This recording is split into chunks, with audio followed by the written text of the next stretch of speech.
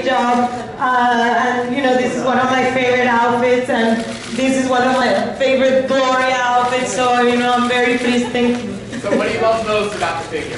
Um, I think that they look hot. Huh? Yeah. I think they're perfect. I really think that they did a, a great job, and for me, it's an honor. You know, I hope that the people, you know, enjoy coming uh, to Madame Tussauds and take pictures with me. Sofia!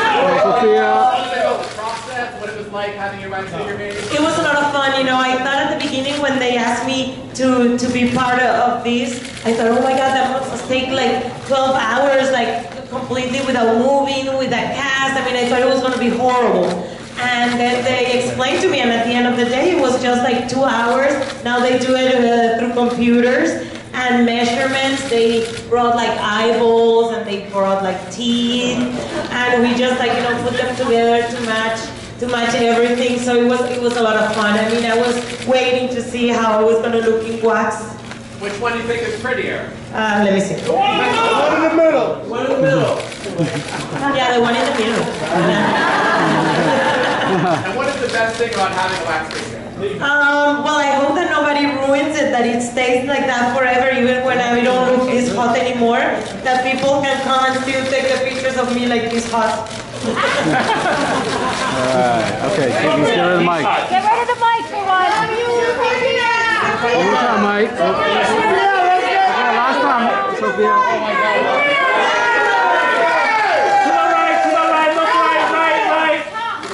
To your right, to your right. Look up to your right. Straight ahead, Straight ahead, straight ahead, straight ahead, straight ahead. straight ahead, look straight ahead. Sofia, to your shoulder. Thank you. Look back, Look back, look back, look back.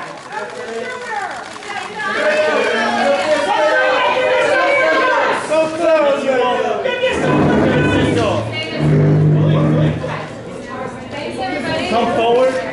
Sofia, come forward.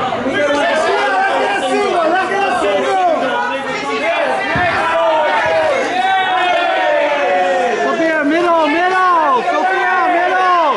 Sofia, straight ahead, straight ahead, straight ahead. To your right,